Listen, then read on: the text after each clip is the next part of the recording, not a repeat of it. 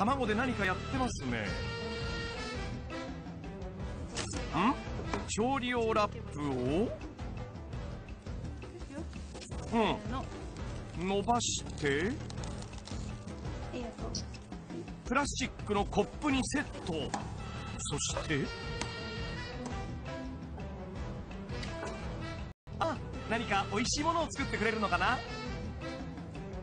料理じゃないんですよこれ。じゃないんですよじゃあ何？あ、鶏をあの生まれさせるための作業です。え？これこの状態から？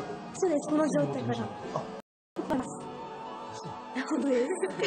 ひよこがピヨって生まれてくる 実は彼女たちはこちらの高校の生物なんとラップを使った方法で世界初殻なし卵からヒナを返すことに大成功。海外の研究者も注目しているんです。顧問の田原先生に話を聞いてみると。透明な容器でひよこになるまでがもう全部が見見えると。しかも生きた状態で誕生までいわゆる。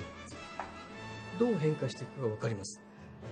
早速その様子見せてもらいましょうとその前にちょっとクイズ。皆さんひよこになるのは卵のどの部分か知ってます？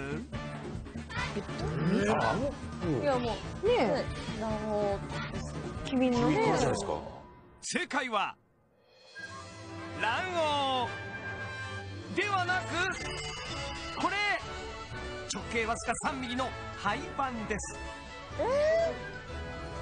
実はこれがひよこの元なんです。では卵を温めましょう。3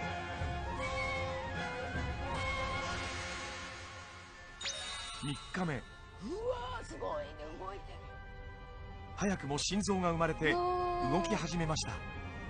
えうわうわ5日目。えいやすごい。先生も思わず素晴らしい映像だな、ね。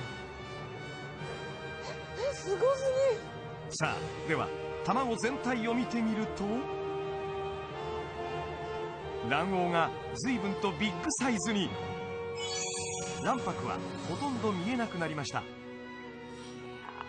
そうこうしているうちにどんどん成長して。すごいな。手羽先だ。ぎ手羽先だ21日目。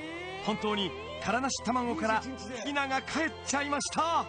すごくない？こっちだよ。はいおいで。うお来たか来たか。うわ早い早い。早いわ